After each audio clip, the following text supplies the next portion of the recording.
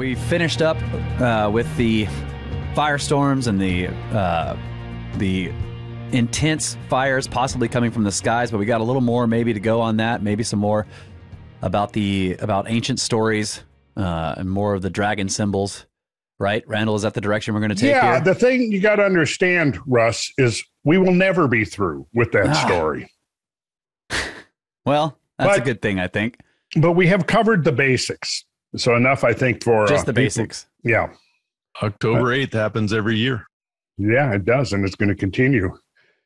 But uh, yeah, so uh, we uh, dove into that interesting dimension of our history that a lot of folks were not aware of before uh, before this, and hopefully now a few more of them will be aware of it and uh, consider it as a serious, a realistic possibility. You know, I was, I've been, I'm still skeptical. Like, is this po- even possible? Well, I mean, it's possible, but you know, we got to come up with some kind of an explanation. To me, the extraordinary thing, I guess, is that it it it suggests a process that nobody has really considered, except in very limited. I mean, look, let's face it. Where did this idea first come from? Came from Ignatius Donnelly, right? Yeah. To my knowledge, he was the first one to ever make a connection between the Chicago fire, the Peshtigo fire, and the potential cosmic impact. Although he thought that it was perhaps um, debris coming from the disintegration of Comet Biela. Whereas no one mentioned it, as far as I know, until I looked at the obvious, which is well, is there a meteor stream October 8th? And to discover the Draconids was well, by gosh, there is. I mean, so it's like when you pose these questions, Yeah. then you seek the answers to them.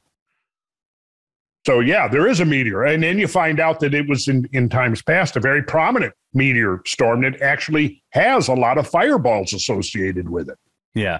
And then you go, wait a second. But how is it that this meteor stream is called the Draconids because of the constellation of Draco, the dragon? And here we are with the ancient lore. And I thought maybe we could get into dive into some of that as uh, you know, serpent lore and dragon lore, that kind of stuff. And I think that one of the first places we could go is like right to the um oh just to the like to the bible because this is the thing we're all brought up with the bible in the western culture. And i mean if you come back to the biblical stories with this perhaps this perspective that maybe you know what's the, what, what what up to this point if you looked at the biblical stories it, it, they kind of suffer the same fate as mythology in general amongst the scientific community which is that these are just stories that are, are are no more have no more basis in reality say than typical myths from anywhere and everywhere right? And then if you're a true believer if you're a, a, a christian and you're particularly the evangelical persuasion or fundamentalist Like a you don't yeah. need any scientific explanation for anything that's there. It's all miraculous and supernatural right? So if you read if you turn to st matthew chapter 4 verse 29 and it reads immediately after the tribulation of those days shall the sun be darkened and the moon shall not give her light well this is something that can happen literally both through impact events and volcanic events right so anytime there would have been a major volcanic event or an impact event that could have triggered wildfires or uh, resulted in the accretion of cosmic dust to the earth. And here we could get into talking about some of the work of Fred Hoyle and early work of Chandra Wickramasinghe and their uh, ideas about what happens when the earth accretes to it cosmic dust, um, which can, of course, change the the not only the albedo of the earth's atmosphere but also the transparency of the earth's atmosphere. So you know you you can look at that particular verse and you can say immediately after the tribulation of those days shall, shall the sun be darkened and the moon shall not give her light well if you're if if you're not trying to uh, see any kind of a scientific context to to these verses well you know you're it doesn't matter it's not it, it's just something mythical basically if you're a believer you don't need a scientific explanation because it's It's God. It's the handiwork of God. It's supernatural. It's miraculous, whatever. However, then you read it in the very next sentence, and I think right there, the author of this is is is putting the pieces together in such a way that that it's just obvious. It's in your face what it actually is the source behind this quote, because then it says after the uh, after it says immediately after the tribulation of those days shall the sun be darkened and the moon shall not give her light, and the stars shall fall from heaven, and the powers of the heavens shall be shaken if if we look okay and try to see this through the lens of what somebody 2500 years ago or 3000 years ago how they're interpreting natural events but natural events on a totally different scale the cosmic scale. I mean this actually is perfectly a perfectly rational sounding statement actually. Now when we look at this you know instead of saying well uh, you know, the uh, uh, the sun shall be darkened and the moon shall not give up her light. Well, we just use a different terminology, terminology now. We talk about the opacity of the atmosphere. We say, you know, in scientific terms, that the opacity of the atmosphere shall be increased, right? But the, the, the most direct consequence of that to an observer on the ground is that the sun is darkened and the moon shall not give up her light. But it's the my point is maybe we're talking about the same thing. From the eighth chapter of the book of Revelation, otherwise known as the Apocalypse. And the angel took the censer and filled it with fire of the earth and cast it into the earth.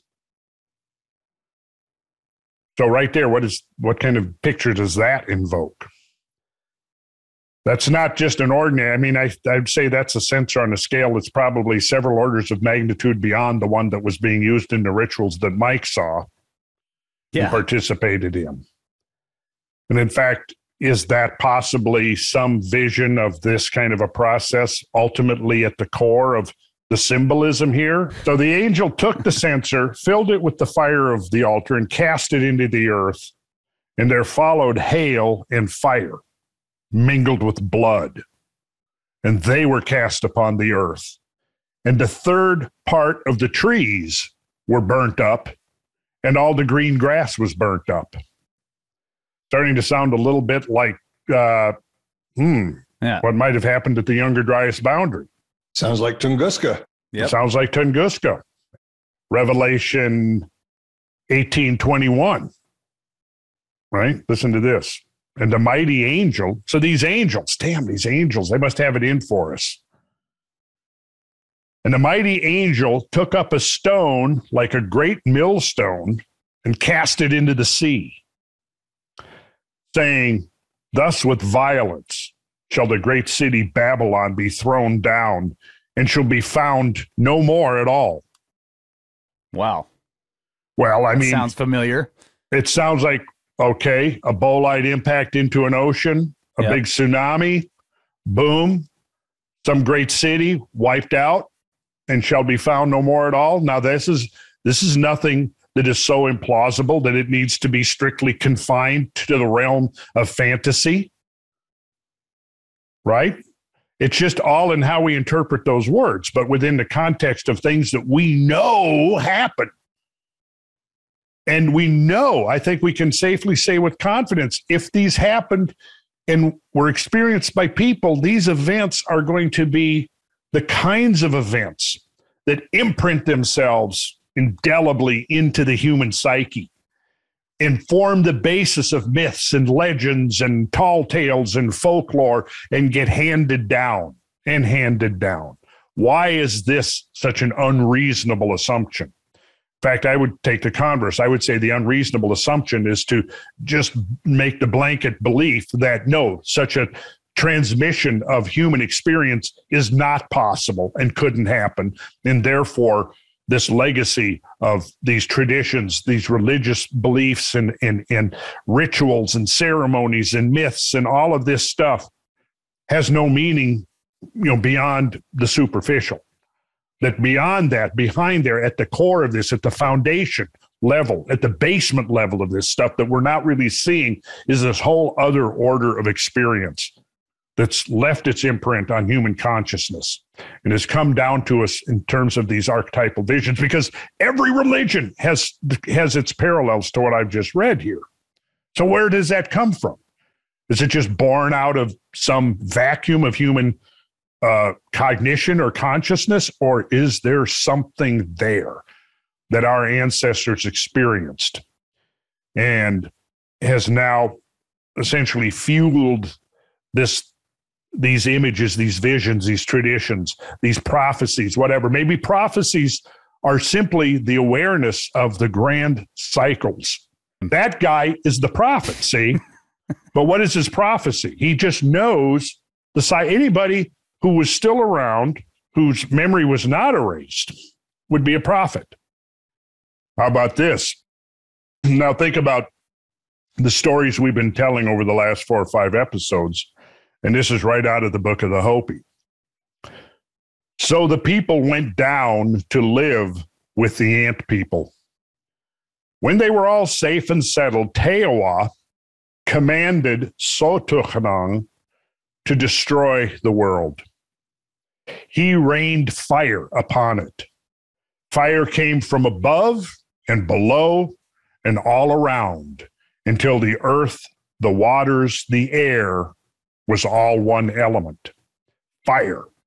And there was nothing left except the people safe inside the womb of the earth. Now, given what we know now, are we going to just assume, oh, this is just some exaggerated myth, or, or is it really referring to a, a, a tradition about the ancestors of the modern Hopi actually surviving some type of enormous cataclysmic ekpyrosis type event? by going underground.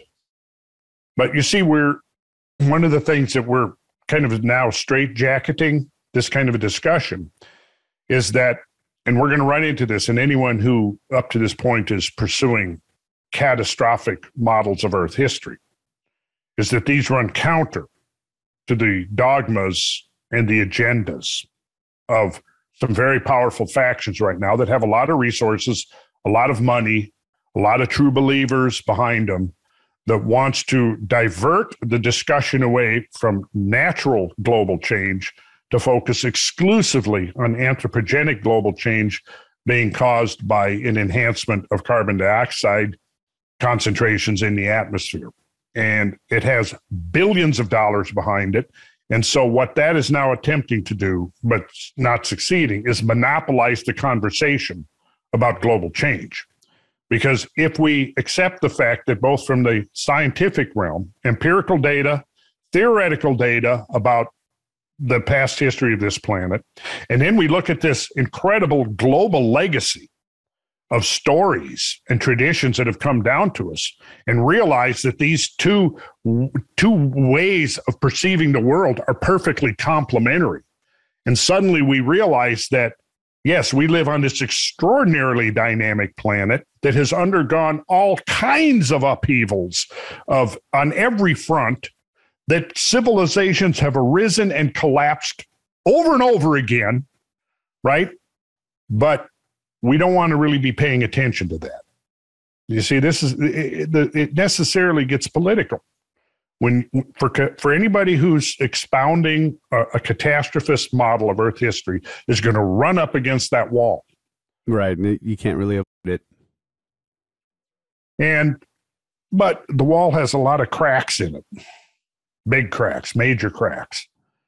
So I'm kind of thinking that that wall might be uh, like a, a, our modern version of the Berlin Wall, and it could come crashing down any day. Uh, when we realize, hey, you know what?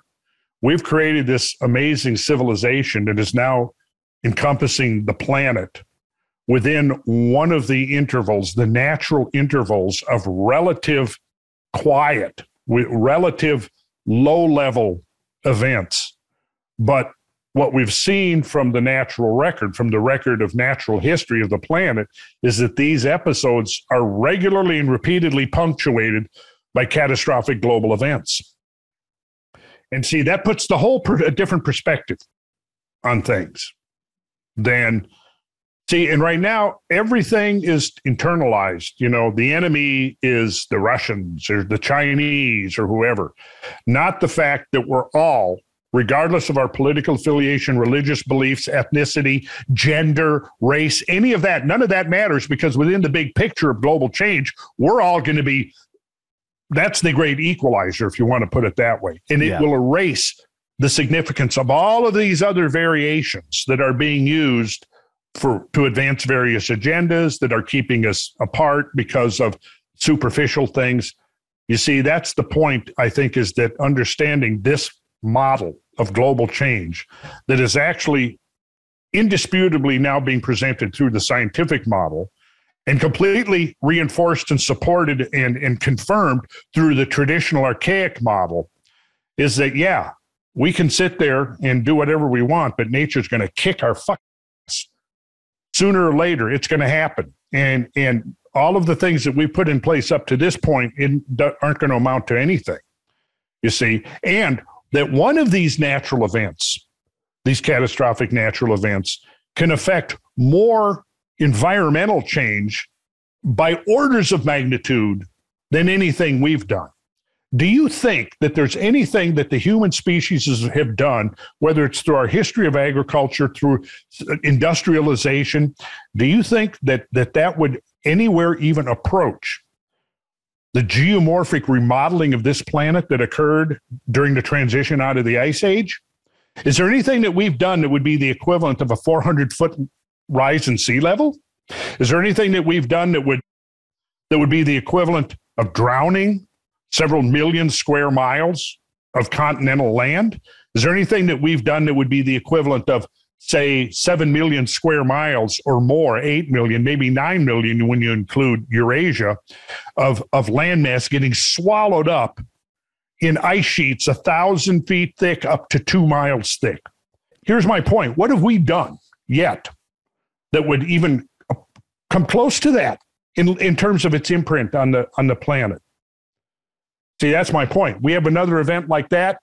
This entire thing that we've done here, this entire drama of building modern civilization, it's gone. It's done. 10,000 years from now, the archaeologists will be arguing, well, you know, there was nothing going on back then because where's the evidence? Where's the evidence? Well, when you start thinking about mega floods, mega fires like we've been talking about. We haven't talked about some of the volcanic eruptions that occurred during the transition out of the ice age, or some of the seismic events that may have approached 10 and 11 in the Richter scale. We haven't even talked about that. You know, because of the deglaciation, you had major tectonic movements. Well, see, we could get, and, and that's the idea of what we're trying to do with this podcast. But a realistic working model of this planet we inhabit has to include the fact that there have been repeated countless catastrophes, some that on the upper scale, yeah, are wiping out three quarters of all species on plan- the planet. Others, which may not even cause a, a, a barely an, a, a species extinction level event, but would still be fully capable of destroying civilization. we aren't the pinnacle of human civilization. We're just the most recent version of it in, you know, the most recent calm period. Yes, that that's really uh, I see. And here's the thing: this is not some pseudoscientific idea. Right. It's an idea that should be entertained seriously. The formation of the Columbia Basalt Plateau itself, right? We could go on. So, you know, David Alt speculated that maybe there was a major impact 17 million years ago. Well, this, see, we could be talking about episodes of volcanism, episodes of seismicity, geomagnetic field reversals and fluctuations. This is controversial, but it's certainly a possibility.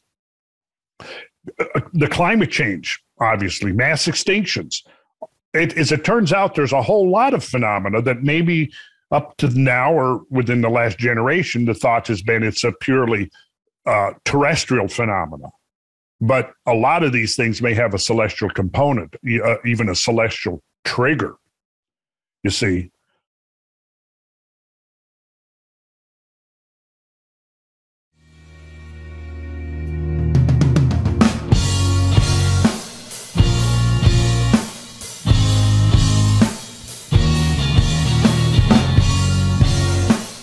Welcome back, ladies and gentlemen, to po- Kosmographia podcast. Um, we're still going to continue on this, uh, I guess, this train of thought and the um, serpent and dragon symbols throughout the ancient world.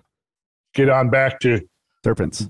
serpents. Yeah. Now, you Right. guys, there's something, let's see, what is it? There's some kind of affinity or affiliation you guys have, isn't there? With There is. An Ophidian affiliation. That's Yeah. right. an Ophidian affiliation. Yes, that's what it is. All right. Yeah, Hmm. I'm. Uh, we've all been fascinated by the by the serpent symbols throughout um, of Mhm. the Oh, ages yeah. and and the prominence. You know, Yeah, the in all the prominence, yeah. myths of the Yeah. serpent, So the it- Ouroboros, the cycles of time, and I don't know. That's just yeah. Yeah. So we- we'll have to dive into that Ouroboros symbol at some point. Standard nice. version. Hadn't seen that. Oh, yeah. Okay. Well, yeah. You want to tell us a little more about that? What's that? The Brothers of the Serpent. Is that a historical kind of deep group, some sort? Yeah, I mean it's it is you know legendary, but it's you know does it exist? Probably, maybe. You know, Graham hints at it a monastic order of people who occasionally inject information into civilization into humanity to keep to restart civilization after. During the wasteland, I Yeah. suppose. Yeah, Yeah. So, uh, yeah, the, the, the serpent in the Bible is an interesting character, yeah, definitely. And I kind of don't think that they've, the identity of that serpent, I think, has kind of been overlooked. I think there's more to that symbol than meets the eye there. sure, yeah, and it's associated with you know with knowledge. Of Yeah. course, the, in the Egyptian tradition is, um, you know, it's the, on the caduceus, the serpent. Yep. Right? And what does the serpent say then at that point? For God doth know that in the day ye eat thereof, what's going to happen? Your eyes shall be opened, and ye shall be as the gods. Yeah, that was the problem. That was a problem. I, I find that extremely interesting to ponder. It's it's like Promethean in a way, right? This Very much so, of- yes. Yeah. Then what happened? What happened after that? When the woman saw that the tree was good for food and that it was pleasant to the eyes and a tree to be desired to make one wise, Yeah. she took of the fruit thereof and did eat. And after she ate, what did she then do? She gave also unto her husband, and he did eat. Like, hey, hey, Adam, you got to try this. Yeah. But then what happened? So they both ate of the fruit. Did they die? No. No. Seventh verse. What does it say? The eyes of them both were opened. So what did the serpent say? The serpent said, In the day ye eat thereof, then your eyes shall be opened. Yeah. What did That- God say? No. Well, now bear in mind, this isn't God. This is the Lord. This is Jehovah in the Hebrew text. It's not Elohim, it's Jehovah.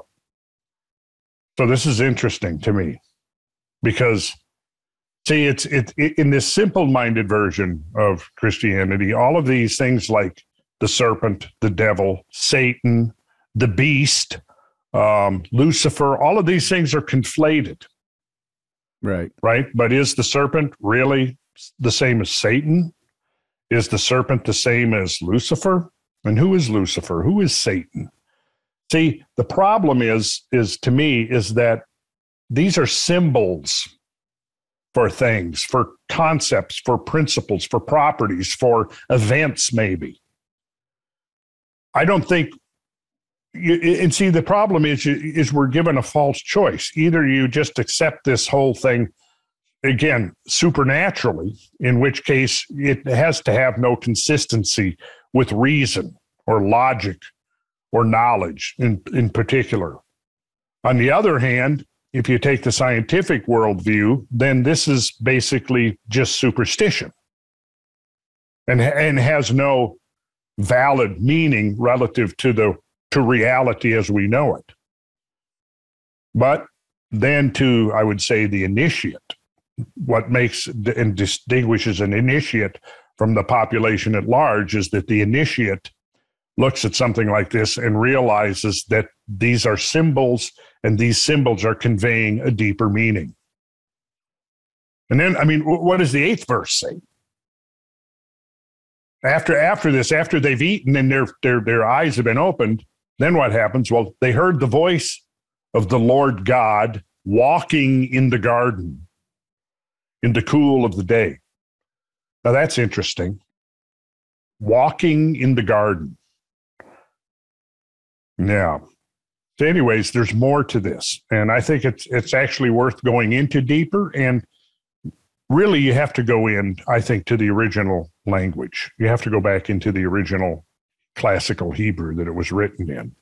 And then I think that perhaps we can peel some of the literary veneer back and see the, the underlying meaning that's being conveyed by this imagery.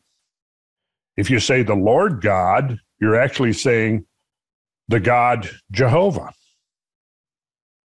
Now, if you look at it that way, suddenly you've got a whole different perspective on the biblical story. But that was not necessarily going to be the subject matter of what we talked about tonight. But in some ways, it connects because we are talking about serpents and dragons. And of course, one of the most prominent serpents in the Western tradition is the biblical serpent. And I think what we tried to show just by repeating these verses right out of King James is that perhaps there might be some other layer of meaning, some other uh, interpretation as to the identity of the serpent. And then the Lord God said unto the woman, What is this that thou hast done? And uh, the woman said, uh, Well, uh, the serpent beguiled me, and I did eat. But remember what her motive was? Let's go back and look. The motive, remember, the motive was uh, the woman saw that the tree was good for food it was pleasant to the eyes, and most importantly, a tree to be desired to make one wise. So she committed the crime of seeking wisdom. It sounds to me like, by the way, the serpent is Nachash, Nachash, Nun Chet Shin in the Hebrew, which once we kind of peel that back and take a deeper look into that, I think we'll see some interesting connections. And I think we should probably circle back to that in a upcoming, maybe even the next episode of this that we do, um, because in it, since we've we've opened up this can of worms on discussing the serpent, the great dragon, um, I think there's some important clues here. But in order to um, extract that information from this narrative, we're going to have to go into oh into some some sideline areas like Kabbalah and look at some of the numbers that are behind these words and names and phrases. Oh man. And so that sounds great. Now, if we realize that the serpent is on one level now, and, and, and I'm not one of the things I want to do here is when you get into these things that we will call oh, euphemistically, the occult, in in uh, in quotation marks, the occult, basically just meaning things that are unknown to, uh, you know, mainstream thought. That's stuff that tends to be hidden and outside the, the the regular discourse of reality, if you want to put it that way. So when you look at this and realize that there are layers of meaning. And the objective almost is the contrast of science, where what you're trying to do in modern science is you're trying to narrow as much as possible, restrict a specific meaning, and give a term, a scientific term, what, what constitutes a scientific term is not its its protean nature that it can be interpreted in multiple different ways, but its specificity how narrow of a meaning can you give to a specific term? And so there's a whole lexicon that emerges to cover every variant of meaning uh, that, might apply to some body of empirical or theoretical knowledge. We certainly see it in geology, that everything has its very precise terminology. Whereas occultism is like the opposite of that.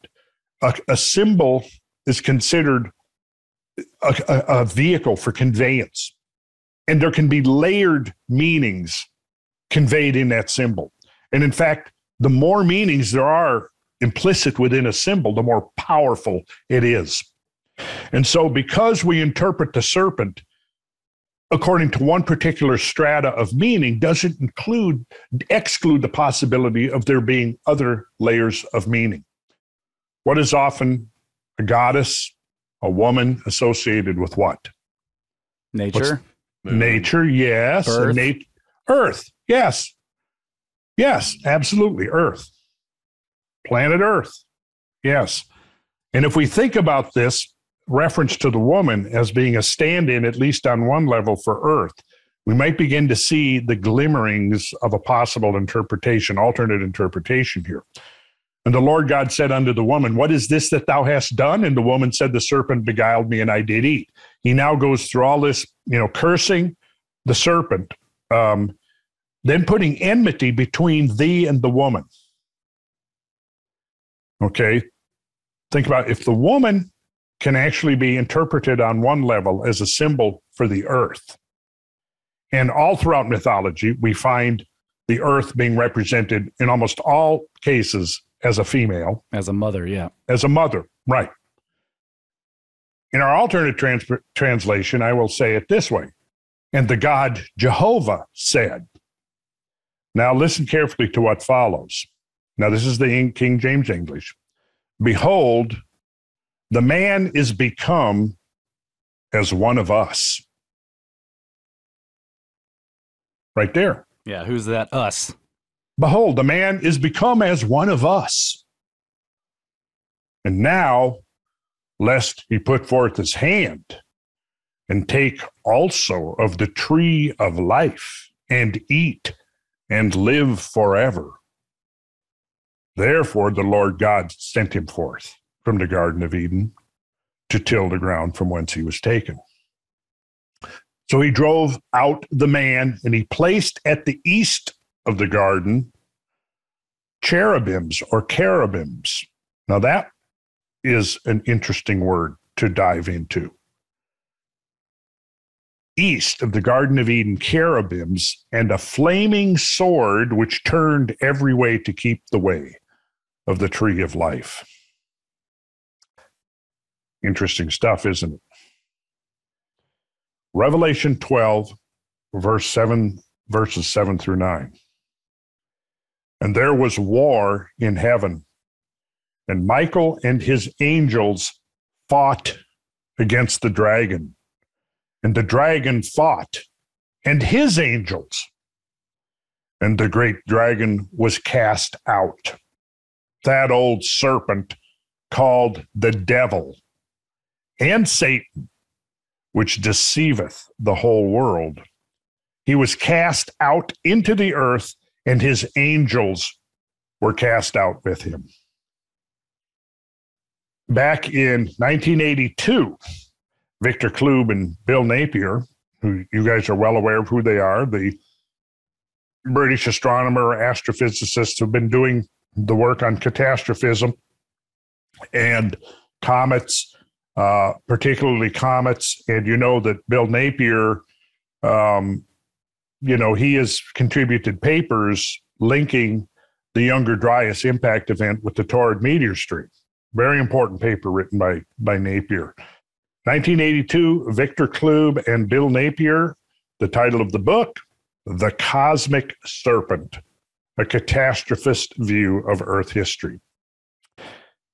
The earliest recorded myths are those of combat between a god or hero and a dragon. The dragon was a familiar figure in Greece, Egypt, Mesopotamia, Babylon, India, China, North America, and elsewhere. He is a gigantic monster. He spouts fire and smoke, bellows and hisses. He throws rocks and is the creator of terrible destruction, and his home is in the sky. Now, if we go back and remember, try to recall, you know, some of the eyewitness accounts from the Tunguska event of 1908, you could almost take some of those eyewitness accounts and plug this these verses two through four from the second chapter of Acts right into those eyewitness descri- descriptions of what happened with the Tunguska event and its aftermath in 1908. And suddenly there came a sound from heaven as of a mighty rushing wind. And it filled all the house where they were sitting. And there appeared unto them cloven tongues like as of fire, and it sat upon each of them. I can't help but thinking of some of the uh, stories from the Peshtigo and Hinckley fires. And now, when this was noised abroad, the multitude came together and were confounded. Remember what happened in the aftermath of Tunguska when the in the, the nearby village the people ran out into the street. I showed the the slide of the great Leonid meteor shower.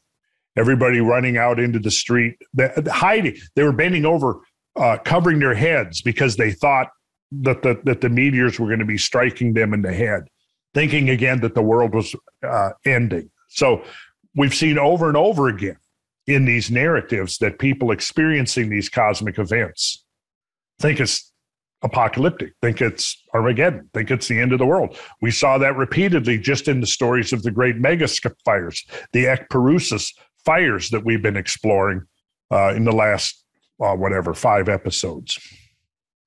Uh, from the first Kings, uh, chapter 19, verses 11 through 12. And behold, the Lord passed by, and a great and strong wind rent the mountains and break in pieces the rocks before the Lord.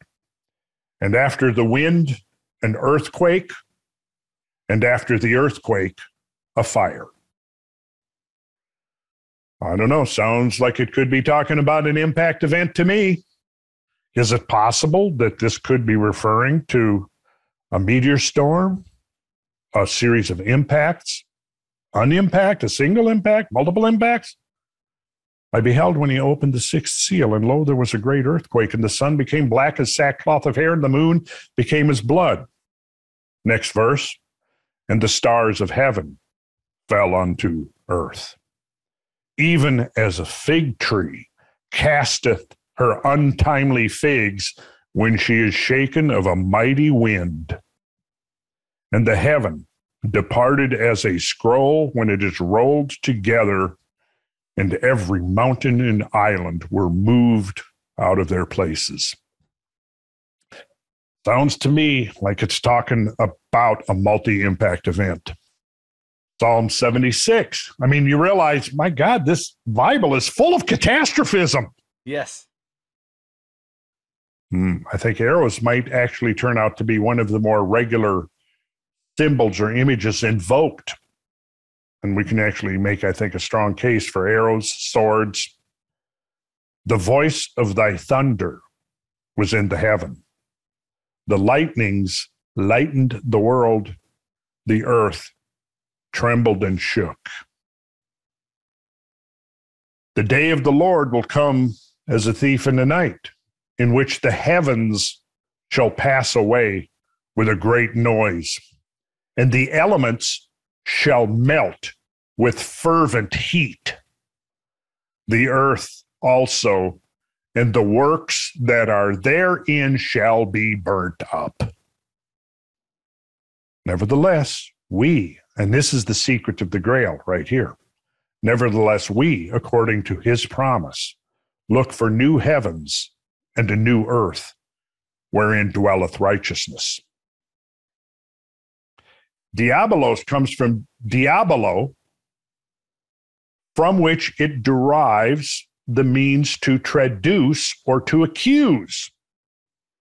But let's not stop there. Let's keep pushing back into the etymological origins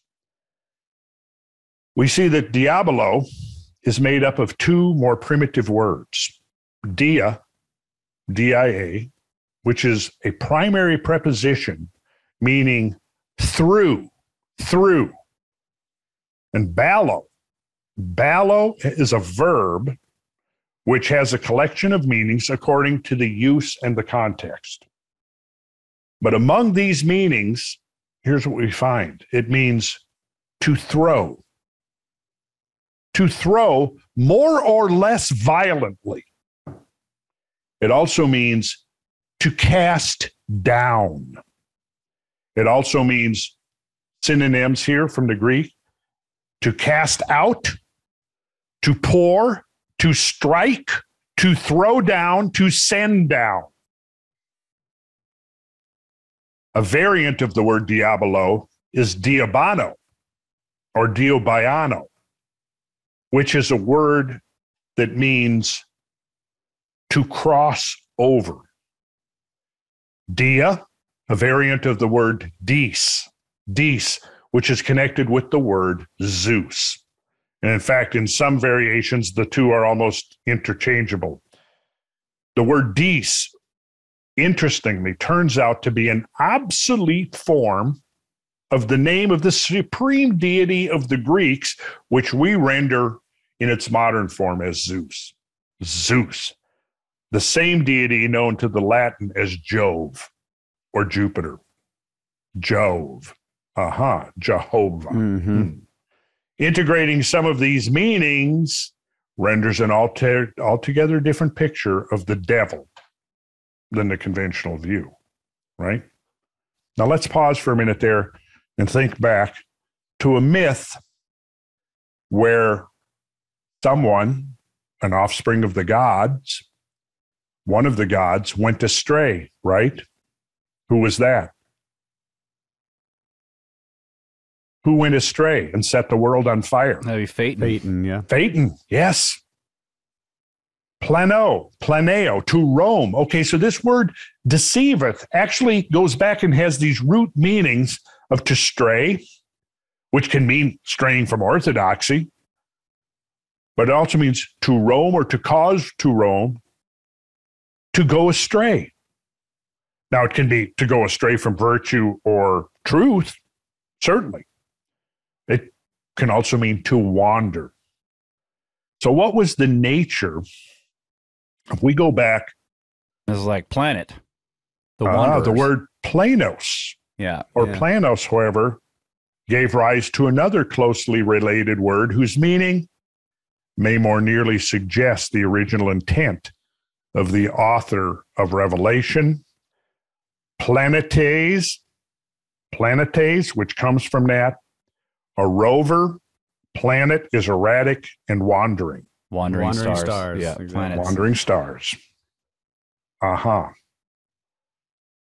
So when you probe into these things, you can kind of peel back these layers and realize that there might be whole other meanings um, concealed therein. And then, of course, what is Zeus known for? Hurling The thunderbolts. Thunderbolts. Yes. From the book The Romance of Comets by Mary Proctor, written in 1926. I love to go back to some of this older stuff where some of these people are speculating uh, without being hamstrung by or being overly dogmatic. Comets have sometimes been pictured as dragons. And according to Pliny, the shape of a comet indicated its character as a portent. Thus, some were shown as arrowheads. I called attention to several references to arrows, to arrowheads, sea monsters, swords, lances, and flames. In AD 69, according to Josephus, several signs appeared in the sky announcing the destruction of Jerusalem. And here is the quote from, from Pliny, from jo- Josephus. Amongst other warnings, a comet, one of the kind called Xiphias, Xiphias, because their tails appear to represent the blades, the blade of a sword, was seen above the city for a space of a whole year. Lance, right? arrows, the blade of a sword. Here's from a European chronicle set down around 1000 AD, quoted in Proctor, the same book, uh, and quoted by Carl Sagan in his book on comets. The heavens having opened, a kind of, and here we have now the introduction of yet another symbol of this kind of phenomena. The heavens having opened, a kind of burning torch fell upon the earth, leaving behind it a long train of light, similar to a flash of lightning. Such was its light that it frightened not only those who were in the open country, but those who were within doors. As this opening in the heavens slowly closed, men saw with horror the figure of a dragon, whose feet were blue and whose head seemed continually to increase. These are some interesting forms when you start looking at them. I like the showing that, you know, these multiple tails, and there's a remarkable similarity. Maybe you guys pointed this out. Remarkable similarity between these Chinese depictions of comets and some of the petroglyphs we see Yeah. in the that was Southwest. that was Peter pointed that out. That was Peter, wasn't it? Yeah. Yeah. that's a really interesting association there uh, to me. Because, yeah, you see almost some of the, the figures etched into oh. these Oh. walls, pecked into the walls, are very Yeah. similar to what we're looking at right here. Very similar. Absolutely. Yes. Now, when you see a spear made out of meteoritic iron and it's got those symbols carved in it, I mean, it's hard. Very suggestive. It looks like the one on the lower right of the blade is a serpent. It does, Wow. doesn't it? And and then look at this. Let me see it right here. Is Oh, this is that possibly showing like Fragmentation. a fragmentation event? The Elohim. Mm-hmm. Huh. The point here is we could go on and we'll find an interesting, very interesting correlation to me. That oftentimes events that are would normally be considered exclusively terrestrial, even droughts, but earthquakes, right? Other climatic and weather phenomena often are associated with meteor showers and impact type events. A good time to wind it down. Okay, let me let me close with this. This is now from actually uh, NASA website talking about comets. Comets have inspired dread, fear, and awe in many different cultures and societies around the world. And throughout time, they have been branded with such titles as the harbinger of doom and the menace of the universe. They have been regarded both as omens of disaster and messengers of the gods. Why is it that comets are some of the most feared and venerated objects in the night sky? Why did so many cultures cringe at the sight of a comet? Well, I don't think we have to reach too far to come up with the answer to that. So, how interesting. God takes two stars from Kimah, throws them at the earth, and that's what begins the great flood. Then you had the Yakut, A cluster of stars. a cluster of stars. Ah, any specific cluster of stars? Ooh, I bet I know which one. yeah. Mm-hmm. Uh, Pleiades. Mm-hmm. Took a couple of stars out of the Pleiades, threw them at the earth, and that's what started the great flood. That yeah, Wow. And the Pleiades is, of course, the shoulder of the bull. So, anyways, I want to close with a image, but let's just take a brief moment to summarize some of the imagery that we have associated with the comet in our little discourse during this class. Swords, lances, torches, that's a prominent one, brooms, what else? Serpents, dragons. Serpents, dragons, were clearly the most prominent. And then the literal meaning of the word komata itself, long haired. Oh yes. And remember the associated with the symbol of mourning. Mourning, not mourning like AM, but It's sad. Yeah. sad, yes. So now I want to look at this picture that's very prominent within Freemasonry. We'll, we'll of course be coming back to this image because I think it's so interesting and suggestive. Hmm. Something else that we didn't cover in this particular discussion Mm. was the uh, the usage of a, the, the the representation of the of the uh, fireball or the comet as a scythe or a sickle. Yeah. And but again, the idea there is it not only gives the appearance of a sickle in the sky, particularly the of the long curved tail, but the idea of you know the god reaching in and harvesting the earth by means Mhm. of the scythe. And notice this is the god Saturn or time. And what's he doing? He's he's plaiting or bla- braiding the long hair of this mourning woman. In her right hand, she holds the acacia branch. In her left hand, look what she's got the, The censer the censer. Yes. On the broken column is an open book, and there's your broken column.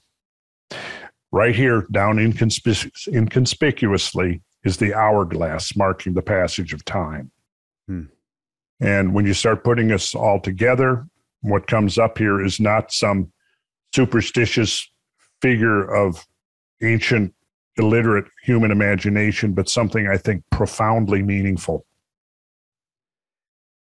the other interpretation of the of the censer in her hand is also when you remove the top you've got the chalice It's the grail. Yeah. it's the grail yes And also, it's interesting how how the br- the way he's holding her hair kind of represents the breaking up of the comet and the Yes. tail. Yeah. They're And in the two tail. different There we go. directions. And Yeah. of course, he's bearded, which is also another. You know these yes the bearded. yeah. Bearded, stars. Yep. The bearded exactly Awesome stuff, man. Love it. Yeah. Yeah. Fantastic, Randall. Great. oh thanks Great guys show. Delivering more than expected once again. I was just looking at the Ace of Swords too. Well, maybe we could look at that next time. well let's we'll pick up with that next time let's do i think that would be because yeah we've got a lot more here All right. we could This is easily keep stuff. going for another hour and i i love these these old accounts Oh man, yeah. Yeah. yeah More lore. more lore Brad, Yeah. Excellent. anything we want to add? All the stuff will be in the show notes, randallcarlson.com. Get your merch there. Check out for the trips. Go to, or check out contact at the cabin.com. All right. yep all right guys Good night. Excellent Good to show, see you, and gentlemen. I'm looking forward to hanging with you guys next week. yeah. Heck yeah, man. Likewise. Oh yeah, Last week.